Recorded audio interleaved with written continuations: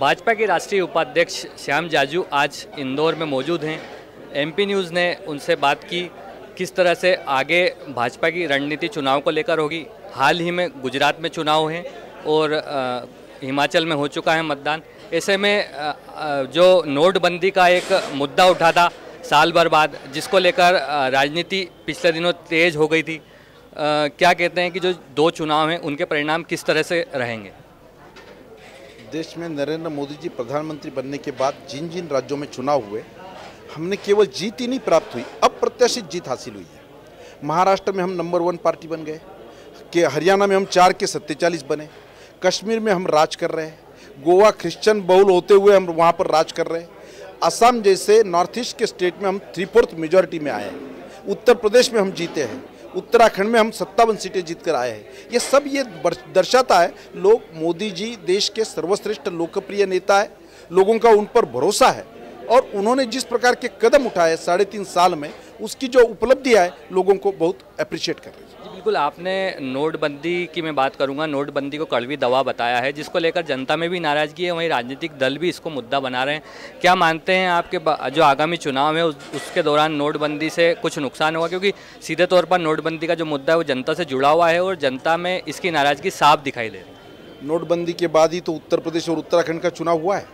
उसके बाद हरियाणा के अभी नगर निगमों के चुनाव हुए हैं। उड़ीसा के नगर निगमों के लोकल स्थानीय पंचायतों के चुनाव हुए। वो सब हमने जीते हैं। लोगों का भरोसा एक है। मोदी जी ने किसी स्वार्थ के कारण ये निर्णय नहीं किया।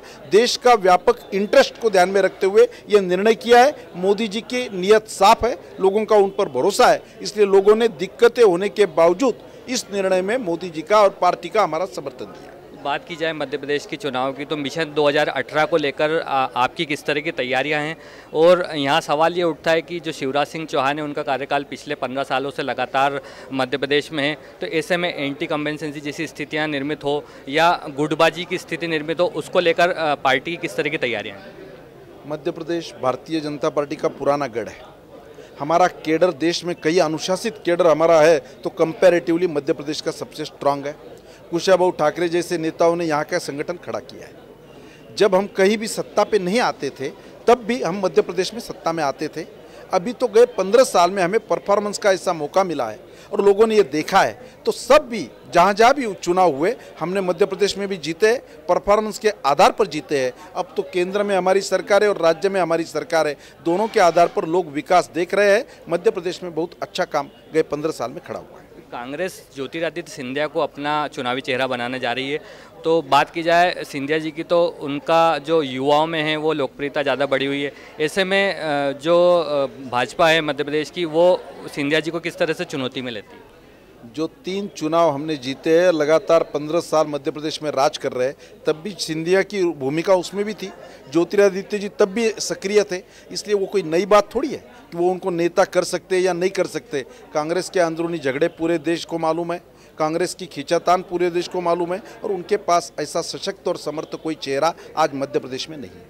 चर्चाएँ ये भी है कि पंद्रह साल हो चुके हैं शिवराज सिंह चौहान को तो ये जो चुनाव होंगे, शिवराज सिंह चौहान के नेतृत्व में तो लड़े जाएँगे, लेकिन चेहरा बाद में बदल सकती है पार्टी।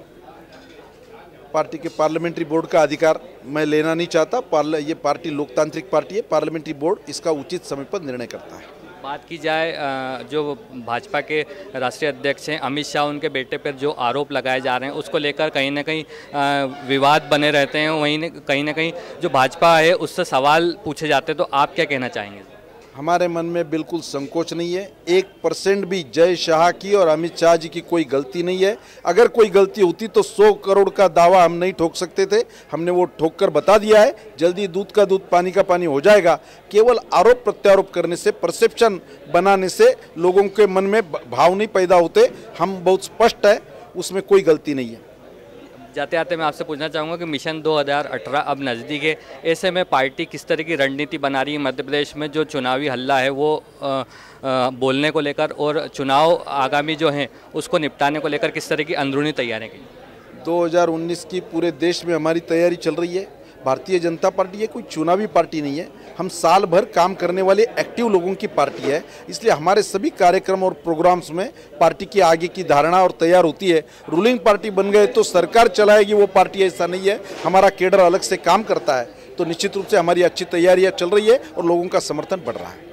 थे भारतीय जनता पार्टी के राष्ट्रीय उपाध्यक्ष श्याम जाजू जी, जिन्होंने एमपी न्यूज़ से खास बातचीत में बताया कि पार्टी के कुल आगे जो चुनाव हैं आगामी चुनाव देश में उसको लेकर किस तरह की नीतियाँ हैं वहीं जय शाह जो अमित शाह के बेटे हैं उनको लेकर जो सवाल उठाए जा रहे हैं उसको लेकर भी उन्होंने खुलकर बात की। अ, बात की जाए मध्य प्रदेश विधानसभा चुनाव की तो उसमें ज्योतिरादित्य सिंधिया भाजपा के सामने चुनौती के रूप में सामने आने वाले हैं। जिस चुनौती को जो पार्टी है, वो स्वीकार करने को तैयार है। तो ये आने वाले समय में देखना होगा कि अब जो पार्टी का राजनीतिक रंग है, वो किस ओर जाता है। कैमरा पर्सन धर्मेंद्र यादव के साथ शार्दुल राठौर, एमपी न्यूज़, इंदौर।